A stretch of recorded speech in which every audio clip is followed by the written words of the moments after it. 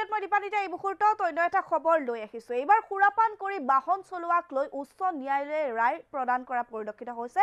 সুৰাপান কৰি বাহন চলোৱাক গোচৰত কোনো বাহন জব্দ কৰাৰ আৰক্ষীৰ অধিকাৰ নাই বুলি উচ্চ ন্যায়ালয়ে ৰায় প্ৰদান কৰিছে। এই মুহূৰ্তৰ এই খবৰ আমি জনাই আছো। ঈশা নিউজৰ দৰ্শকসকলক এটা বিশেষ খবৰ। সুৰাপান কৰি বাহন চলোৱাক লৈ উচ্চ ন্যায়ালয়ৰ ৰায়। সুৰাপান কৰি গাড়ী চলোৱাৰ গোচৰত বাহন জব্দ কৰাৰ অধিকাৰ আৰক্ষীৰ নাই বুলি ৰায় প্ৰদান কৰিছে। চল্লিছখন লেখ আবেদন নিষ্পত্তি কৰি কেইবাটাও আদেশ প্ৰদান কৰিছে ন্যায়াধীশ কে লক্ষ্মণে।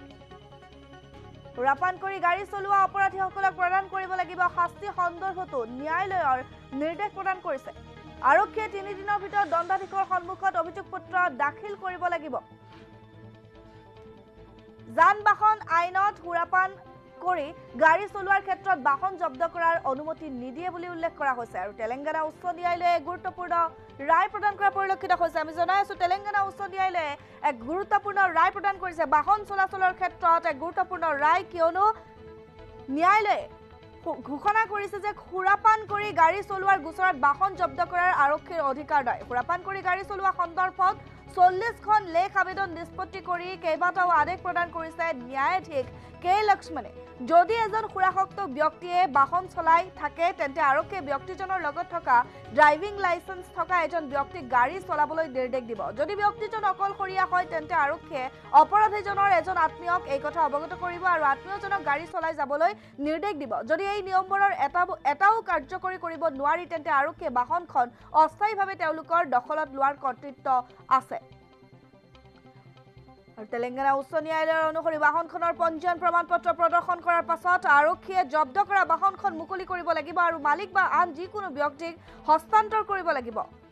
সুৰাপান কৰি গাড়ী চলোৱা অপৰাধীসকলক প্ৰদান কৰিব লগা শাস্তি সন্দৰ্ভতো ন্যায়ালয়ে নিৰ্দেশ দিছে। নিৰ্দেশ অনুসৰি আৰক্ষীয়ে তিনিদিনৰ ভিতৰত দণ্ডাধীশৰ সন্মুখত অভিযোগ পত্ৰ দাখিল কৰিব লাগিব। ন্যায়াধীশ কে. লক্ষ্মণে কৈছে যে এই নিৰ্দেশনাসমূহৰ যিকোনো উলংঘনক অৱমাননা হিচাপে চোৱা হ'ব আৰু প্ৰয়োজনীয় প্ৰক্ৰিয়া আৰম্ভ কৰা হ'ব। তেওঁ আৰু স্পষ্ট কৰি দিয়ে যে যান বাহন আইনৰ ব্যৱস্থাই সুৰাপান কৰি গাড়ী চলোৱাৰ ক্ষেত্ৰত বাহন জব্দ কৰাৰ অনুমতি নিদিয়ে।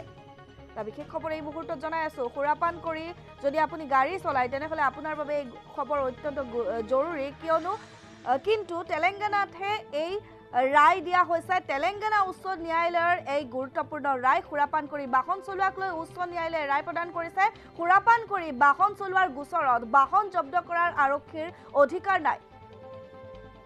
সুৰাপান কৰি বাহন চলোৱা সন্দৰ্ভত চল্লিছখন লেখ আবেদন নিষ্পত্তি কৰি এনে কেইবাটাও আদেশ প্ৰদান কৰিছে উচ্চ ন্যায়ালয় তেলেংগানা উচ্চ ন্যায়ালয়ৰ ন্যায়াধীশ কে লক্ষ্মণে।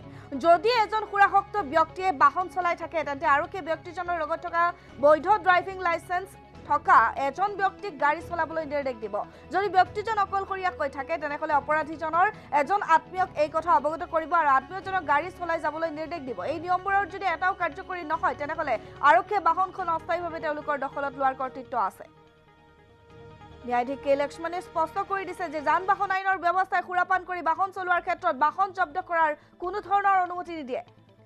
আৰু এই সন্দৰ্ভত চল্লিছখন লেখ আবেদন নিষ্পত্তি কৰি কেইবাটাও আদেশ প্ৰদান কৰিছে ন্যায়াধীশ কে. লক্ষ্মণে।